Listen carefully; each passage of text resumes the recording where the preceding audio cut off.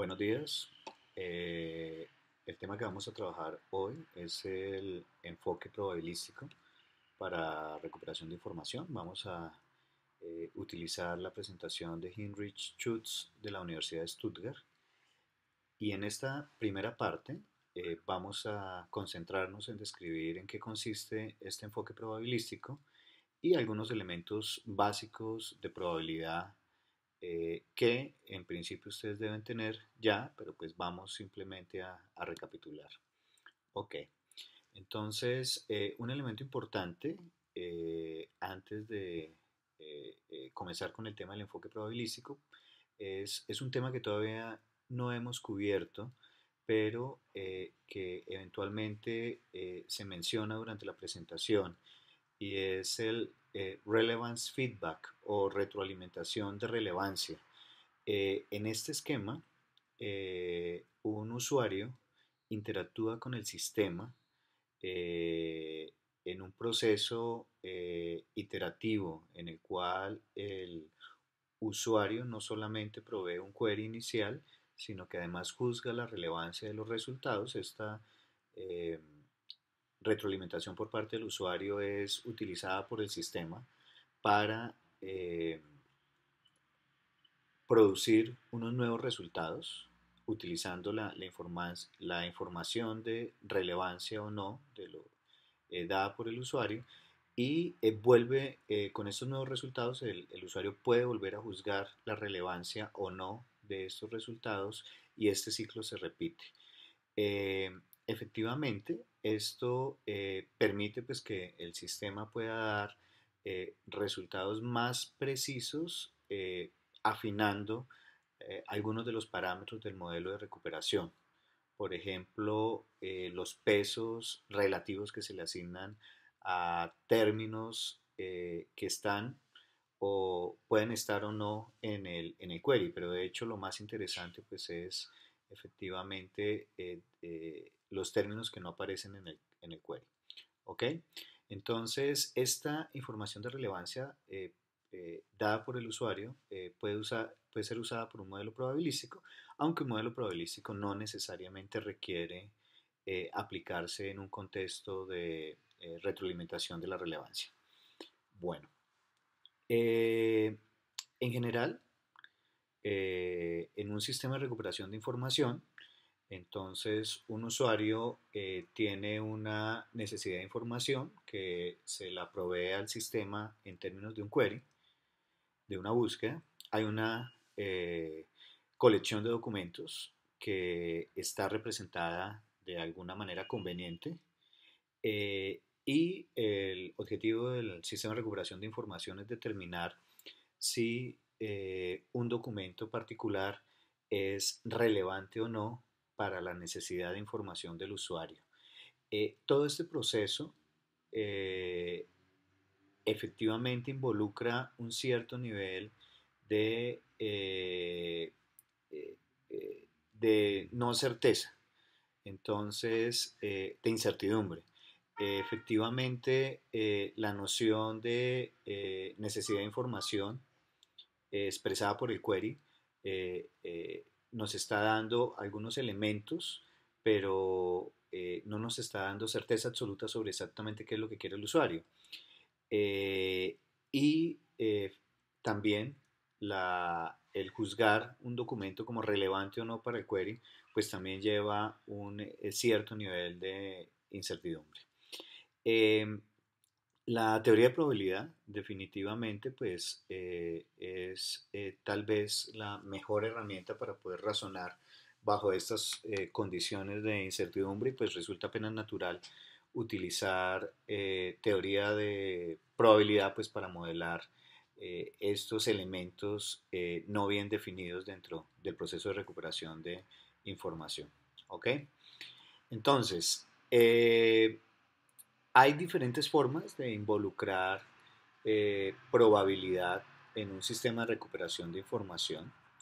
Eh, el modelo eh, clásico es el modelo de, basado en un principio llamado el principio de ordenamiento de probabilidad, Probability Ranking Principle, y dentro de este principio, basado en este principio, pues hay dos, hay un modelo importante que es el Binary Independence Model, que es el modelo de independencia binaria, y dentro de este hay un eh, modelo que ha sido bastante exitoso, que se llama BM25, eh, que significa Best Match 25, eh, desarrollado por Okapi.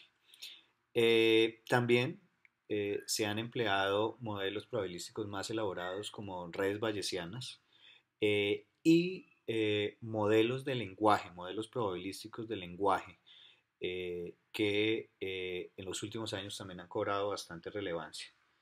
Em, de hecho, pues los modelos probabilísticos eh, son relativamente antiguos en, en, la historia de la recuperación de información.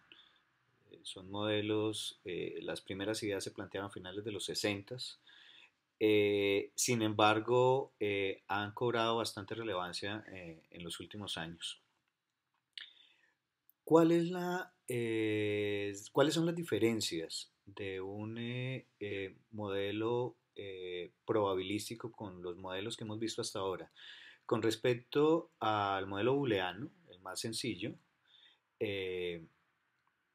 el modelo probabilístico definitivamente tiene la ventaja de soportar el ordenamiento de los resultados. Y como lo vimos en anteriores sesiones, esto definitivamente le da mucha más flexibilidad al sistema.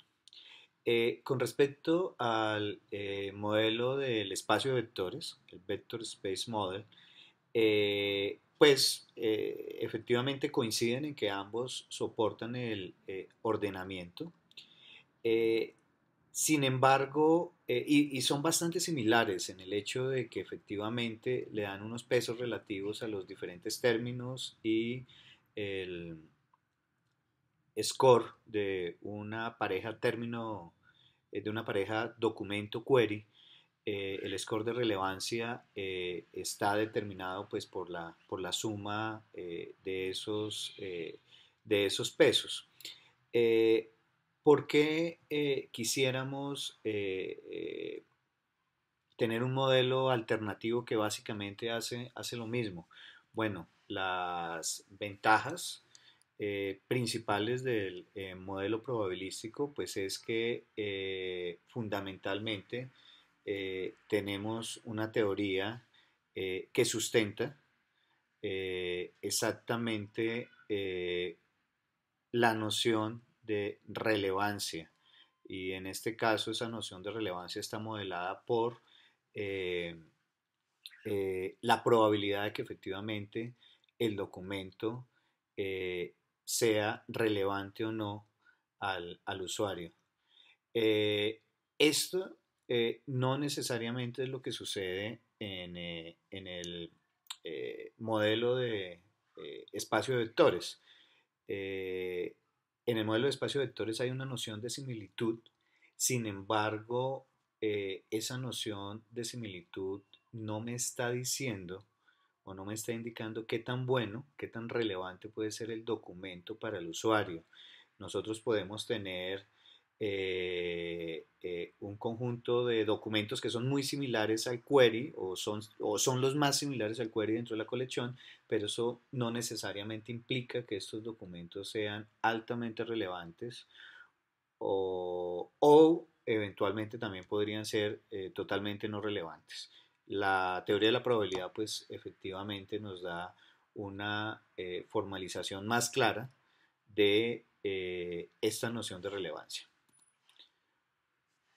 Bueno, eh, obviamente el, fundamento de, los modelos probabilísticos para recuperación de información es la teoría de la probabilidad y aquí vamos a repasar de manera muy rápida algunos elementos de notación, algunos conceptos sencillos. Entonces, eh, cuando hablamos de probabilidad, estamos hablando que hay un espacio de eventos. Eh, entonces, la probabilidad se define dentro de ese espacio de eventos. Si tenemos dos eventos A y B, la probabilidad conjunta de eh, dos eventos se nota como probabilidad de A y B. y eh, esto indica efectivamente la probabilidad de que los dos eventos se den eh, eh, de manera concurrente.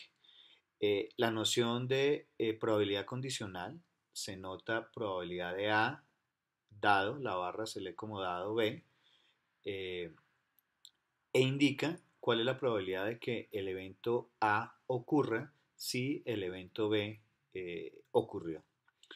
Eh, hay unos eh, más básicos de probabilidad. Uno de los eh, más útiles es el de la regla de la cadena que nos relaciona la probabilidad conjunta con la probabilidad condicional. Eh, en esta presentación en algunos casos se va a omitir el i y simplemente se pone la concatenación, pero probabilidad de AB es probabilidad de A y B. Eh, y esta regla de la cadena, pues lo, que nos dice es que la probabilidad de A y B es igual a la probabilidad de A dado B por la probabilidad de B, y esto también es obviamente simétrico, por lo tanto también es igual a la probabilidad de B dado A por la probabilidad de A. Eh, esto pues también obviamente funciona si uno de los eh, elementos está... Es, es, negado, es, está complementado, entonces la probabilidad de no A y B es igual a la probabilidad de B dado no A por la probabilidad de no A. Eh, valga la pena también aclarar que la probabilidad de no A se eh, define de la siguiente forma. Ok, entonces la probabilidad de no A es igual a 1 menos la probabilidad de A.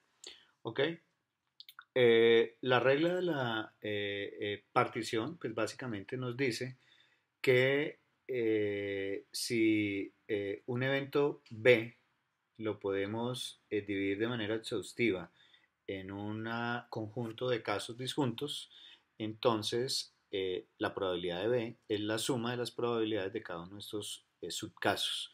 Entonces, esto, por ejemplo, implica que si tenemos otra variable aleatoria A, entonces la probabilidad de B es igual a la probabilidad de A y B más la probabilidad de no A y B. ¿Ok? Este proceso de sumar eh, se conoce eh, también como marginalización. Si efectivamente eh, tenemos una probabilidad conjunta y para una de las variables sumamos todos los posibles casos, en este caso estamos hablando de una variable binaria, entonces los dos casos es A y su complemento, entonces probabilidad de, de A de AB de A y B más probabilidad de no A y B, eh, pues es igual a la probabilidad de B. Bueno, eh, como consecuencia de la eh, regla de la cadena, podemos encontrar una relación entre la probabilidad de A dado B y la probabilidad de B dado A que eh, se conoce como la regla de Bayes. Entonces, efectivamente, la probabilidad de A dado B es igual a la probabilidad de B dado A por la probabilidad de A dividido por la probabilidad de B. Eh, esto también se puede expresar utilizando eh, la regla de probabilidad total o la regla de partición como la probabilidad de B es igual pues a la sumatoria de los diferentes casos para la probabilidad de A para A y si A es una variable binaria, pues entonces tendríamos eh, que eh, eh, esta sumatoria pues básicamente nos está indicando que la probabilidad de B es igual a la probabilidad de B dado, dado A por la probabilidad de A más la probabilidad de B dado no A por la probabilidad de no A. esto, se, este esquema de la, de la sugerido por la, por la eh, eh, o, este, o, la regla de Bayes nos sugiere una eh, forma de iterativamente ir mejorando una estimación de probabilidad. Entonces nosotros podemos pensar de una probabilidad inicial, en este caso la probabilidad de A, como una probabilidad a priori. Y a priori está dado por el hecho de que es una probabilidad eh, donde no, donde estimamos eh, la probabilidad de A sin conocer nada más, la cual podemos refinar si tenemos más elementos y a esto se le llama la probabilidad a posteriori. Es esta que está acá.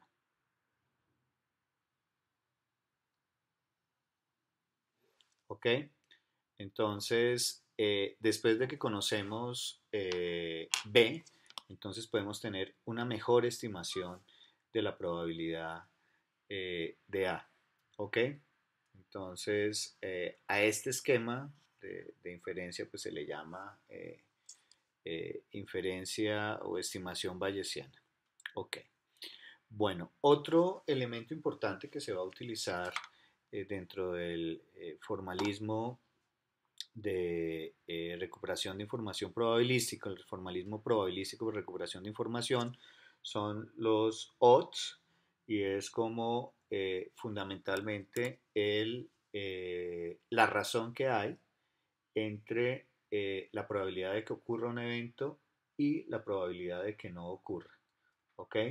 Entonces, esto lo vamos a utilizar. También se utilizan los log odds que son eh, básicamente eh, el logaritmo de, esta cantidad.